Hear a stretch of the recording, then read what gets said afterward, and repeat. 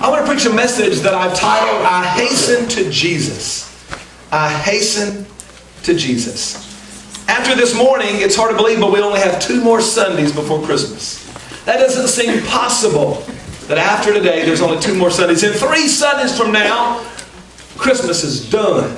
Some of you will already have your trees down and your boxes put away because it will be done. So I want to begin today a series of Christmas messages to encourage you and to challenge you to keep your faith and to look up to Jesus Christ throughout this Christmas season. Yes. Luke chapter 2, verse 14 through 19, if you have your Bibles. Luke chapter 2.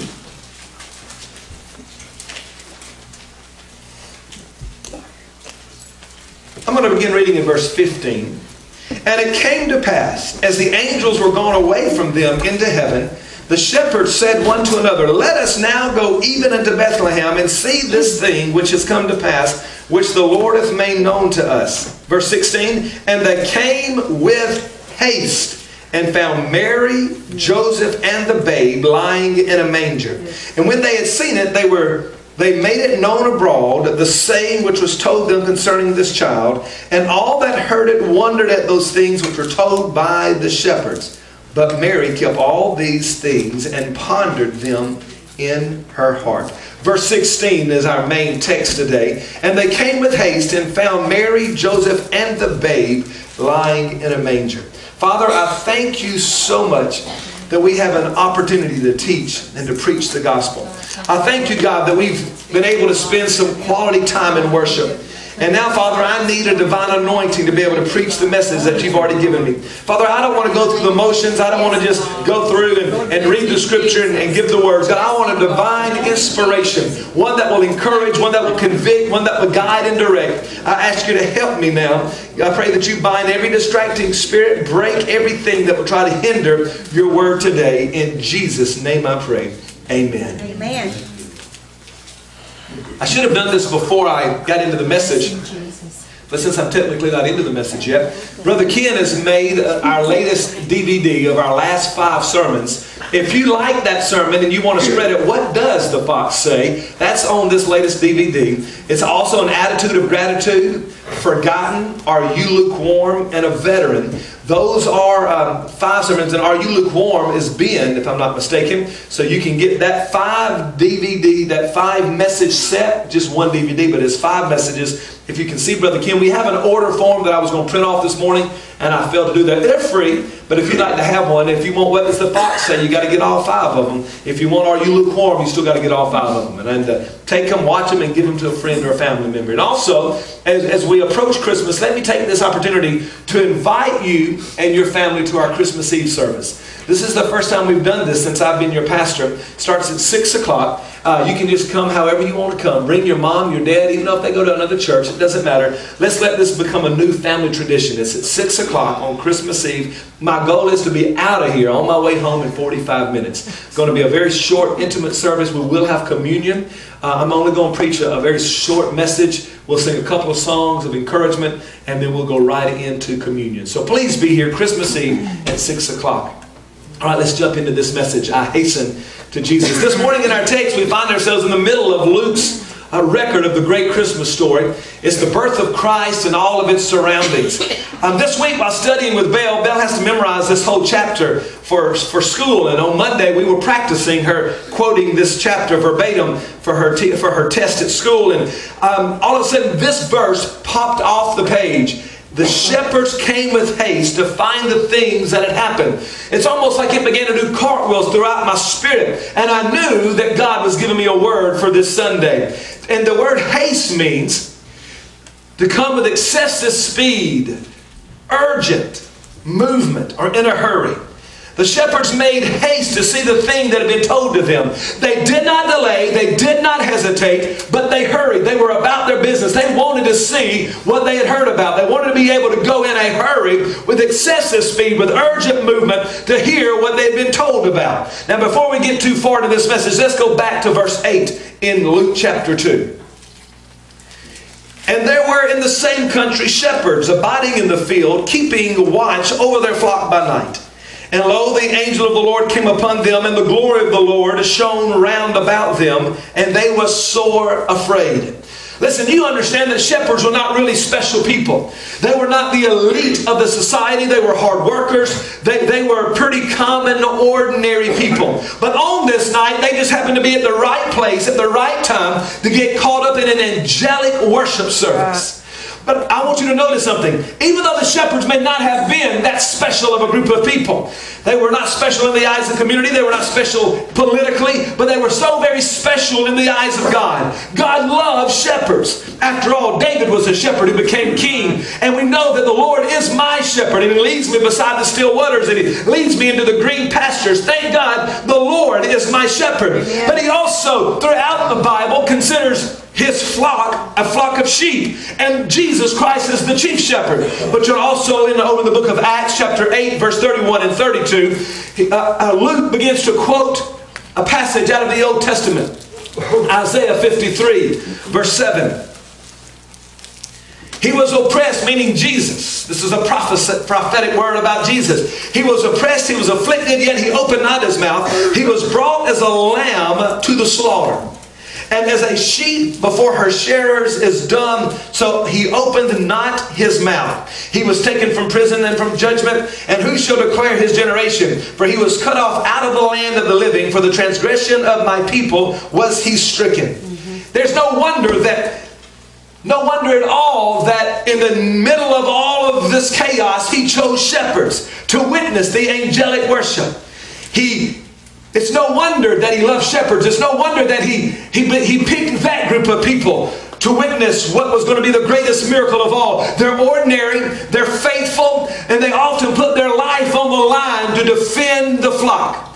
The shepherds may have been low on the social, social economic scale of society, but they were high on the scale of God. And He allowed them to witness the greatest choir concert in the history of ever as the angels began to say, Glory to God in the highest, and on earth peace, goodwill toward all men. I know the Bible says that at first they were afraid when they saw the angels, but the word of the Lord came from an angel and says, Hey, that's all right. Do not be afraid. I've got good news for you. Can I just stop here for just a moment? Because I think some of you feel like you're unworthy in your life and you feel like you're a castaway and your standards on the social economic scale has got you depressed. And, but you need to look up this morning. You might not be special in the eyes of the world, but God sees you as a special child. He sees you as chosen. He sees you as called. He sees you as favored and as blessed. He sees you as loved and adored. Sees you as ransomed ransomed and freed. He sees you not as you see yourself, not as the eyes of the world, but He sees you through the eyes of heaven, through the eyes of grace. You need to relax and enjoy the concert because God loves you and He's chosen you to witness the greatest thing ever, and that is the good news of Jesus Christ. Amen. Amen. Let me point something out. These shepherds were not missing their shifts. They were not out fooling around. They were not being lazy. They didn't call in and take the day off. They were keeping their watch over their flock. They were doing what they had been called to do. They were doing what they were hired to do. They were watching the flock. And let me just stop here and, as a pastor, drop something into your spirit. You better get busy doing what you're supposed to do. Get busy doing what you're called to do. Continue to be faithful on the job you're on because God will often bless those that are faithful even, in the midnight hour. Yes. Don't you walk yes. away from what you've got to be foolish. Don't start playing all kind of idleness. You better get busy and be obedient with your life and do your job because you need to stop taking shortcuts and stop skipping around on your shift and begin to do what you're called to do so God can send the angelic host to bless you. Amen. Is that all right if I say that this close to Christmas? Yes. God expects to find you busy doing what He wants you to do. Busy in your job, busy in your work, so that He can bless you. Stop goofing around. Amen. Amen. Lord, I better get to verse 15. And it came to pass as the angels were gone away from them into heaven, the shepherds said one to another, Let us now go even into Bethlehem and see this thing which has come to pass, which the Lord hath made known to us. As soon as the angels were finished singing, I believe the last chord of their song was still ringing in the ears of the shepherds. They got up and with haste they went to find the baby. They didn't wait another second. They didn't debate it. They didn't get it in a committee. They wanted to see what all the fuss was about. In your life, aren't you ready to see what all the fuss is about? In the time you stop making excuses for not going, and in the time that you make haste to find the baby, it's time to see where Jesus is. It's time to experience Him and all of His glory and the fullness of His glory. The problem is, too many people are happy with the angelic concert. Oh, I'm trying to be nice, but I feel like I'm trying to move to the mean side. Too many people are happy with the voices of angels. Too many people have built monuments in this field going, oh, this is where the angels came and sang. Look what the angels have done. Look what the great prophetic person did here. Look and listen, I don't know about you, but I don't want to get awestruck at the heavenly host. I don't want to get satisfied with the songs of the angels. I want to experience the message of their song. Yes, I don't know about you,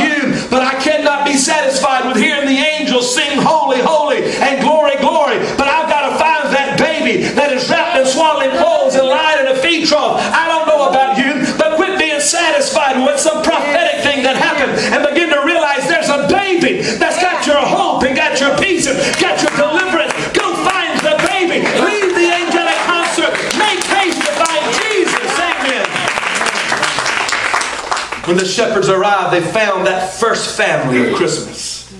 But here's what stuck out to me. The verse says that they found, the shepherds found Mary and Joseph and the babe, verse 16, lying in a manger. They found Mary and Joseph and the baby lying in a manger. I wonder how many people would miss the baby and see the man Joseph. I wonder how many people would see Joseph and go, oh, he's such a good man. He's such a good role model. He would be a great example. He's the earthly father of Christ. He must have been a good man. And instead of seeing the baby, they see Joseph. A Joseph, um, the man who represents strength, the, the man who represents loyalty, he represents hard work. Many people would stop with Joseph and strive to be strong and loyal.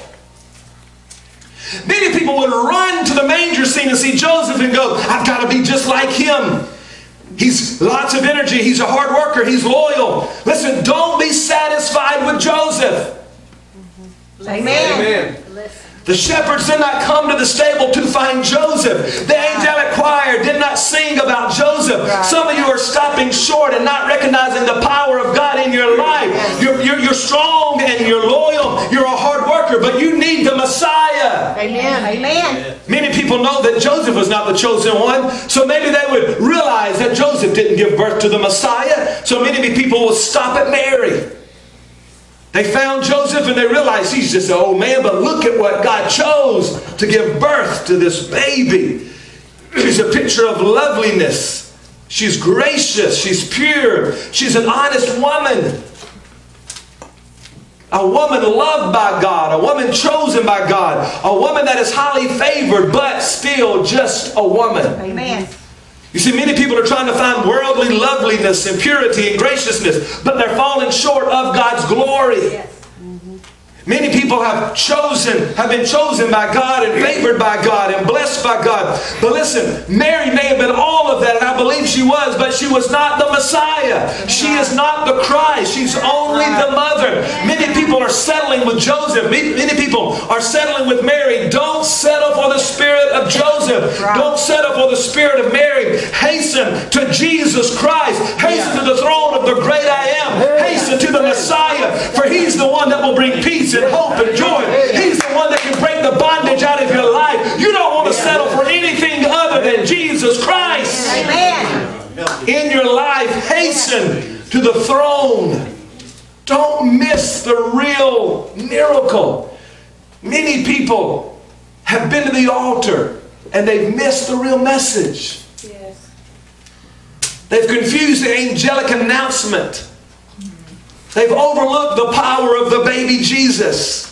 The Savior, the one that can free you, the one that can give you peace and hope, the one that can rescue your soul. We just kind of overlook the one that's coming in clouds of glory because we get stuck on the angels or we get stuck on Joseph or we get stuck on Mary. And I'm not talking about those people literally, I'm talking about them figuratively and in a spiritual way where we get so caught up in trying to be the person of Mary and trying to be the person of Joseph that we forget the Spirit of Christ.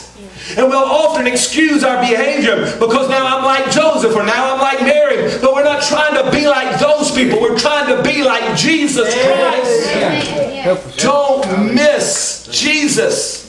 He is here. Hallelujah, He's here.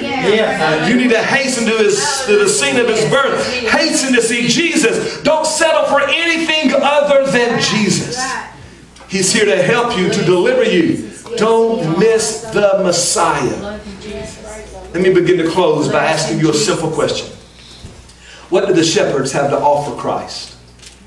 You know, the wise men brought gold and frankincense and myrrh, and they brought their treasures and they brought their expensive perfumes and they gave it, but not the shepherds. What did the shepherds have to offer? Do you feel like in your life you don't have anything good to offer Jesus? You're not talented. You're not a singer, not a musician, not a, not a speaker. What do you have to offer Jesus? Do you feel inadequate because you cannot give gold? You're, you, you're broken. You're broken. You can't even hardly give in the offering. You're, you're broken. You're trying to figure out how you're going to pay your light bill. You're broken. You're like, I can't even give an offering to Christ. What can you give? Yes, amen. Let's look at what the shepherds gave, verse 17 through 20.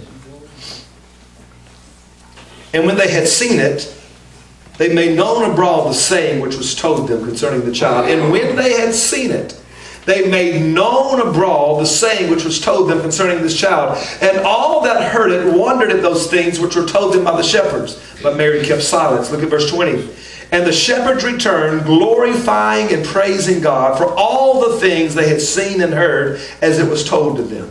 Yes. What did they offer? Praise. Glory and praise. Worship, praise, and glory. But then they offered testimony. The two things the shepherds had, they didn't have money, they didn't have wealth, they didn't have special gifts they could bring, they didn't have a Christmas offering they could drop in the bucket, but they did have worship. And they did have real testimonies where they had, they had seen the Messiah and they went abroad telling the news of Jesus Christ. They went across the country talking about what they had experienced. I wonder if sometimes our greatest gifts are overlooked. I wonder how many of you are thinking, I just can't do this and I can't do that, but you do have a testimony. If you've been to this old altar, and you've knelt down in this altar and you've given your life to Jesus Christ and you've seen transformation in your family and transformation in your home, then you've got a testimony. In essence, when you've come to this altar, you came to a stable like the shepherds and you found Jesus. And you've got something to tell.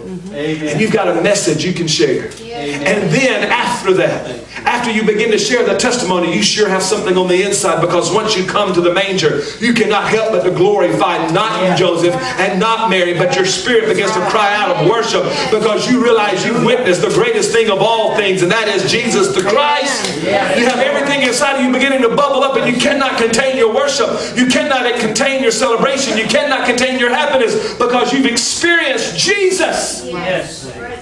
Thank you, Lord. This morning, Sister Sandra, if you'll come, I wonder what you're offering Jesus. I wonder what you are giving Jesus. Are you giving him everything you've got? Are you giving him your worship, your praise? Are you giving him your testimony? Are you allowing the world and around you to hear about Jesus? Or have you missed the baby lying in a manger? Mm-hmm. You know, sometimes I look around and I see the actions of our world, and I begin to realize pretty quickly. And I'm talking about the church world. We've really missed Jesus. We've seen Mary. We've seen Joseph. Surely that's what we should have seen. We've seen tradition. We've seen legal, legalism. We've seen religion. But we've really not seen Christ. I wonder how many of you have been part of religion your whole life, part of a church, part of a group, but you've never really experienced Jesus Christ. He's calling you today. He's calling you today. He's in this very room. You ought to experience Him. And then everybody in this room that has experienced Christ, you need to begin to honor Him and worship Him. Your, your praise ought to be as loud and as high as the angels. And then you ought to tell somebody about the good news of Jesus Christ. Amen? Yes. Let's all stand. Thank you.